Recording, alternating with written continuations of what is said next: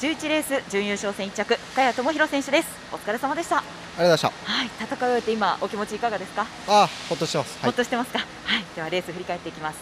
インからでしたけれども風はどんな感じでしたか？風はまあでも向かい風ですけど、はい。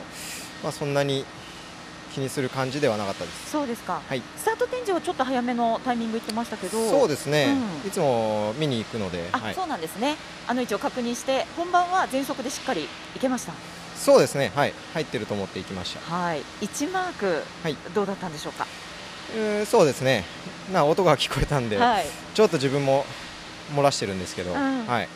でもやっぱり回った後いいですか？そうですね、修正はできてると思います。あなるほど、はい隣が握ってきたところを、まあね、しっかり回って打ち刺させずという感じのターンになって、改めて3周回ってみてどうでした、今日の感触。うーんとですね、レバーをやっぱりこう調整しながら乗ればはい押しはくるんですけど、はい、うんあともうちょっとって感じです。バッチリではないですね。はい。結構プロペラ今日やってたんですか、1日あのーまあ微調整ですけど、うんはい。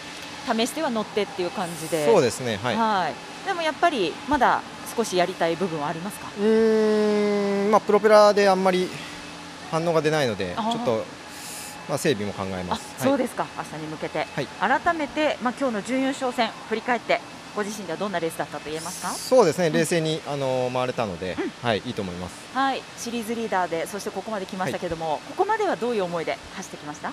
あのーもうマイレースいつも同じように、はい、走ってるだけなんで、はいあまり横をかかずに。そうですね。あのー それで失敗することが今までたくさんあったんで、はい。はい、平常心でそうですね。はい戦えてますか？はい、明日は優勝戦1号艇になります。どんなレース見せていきたいですか？もちろんインからしっかりスタート決めて、あのー自分のターンができれば最高です。はい。はい、皆さんたくさん応援してくださってると思うので、一言いただけますか？そうですね。はい。あのなかなかこういうポジションに立てないと思うんですけど、あのチャンスはあるんで、あのしっかりあのベストを尽くしてあのいいレースできるように頑張ります。はい、深谷選手でした。ありがとうございました。はい、ありがとうございました。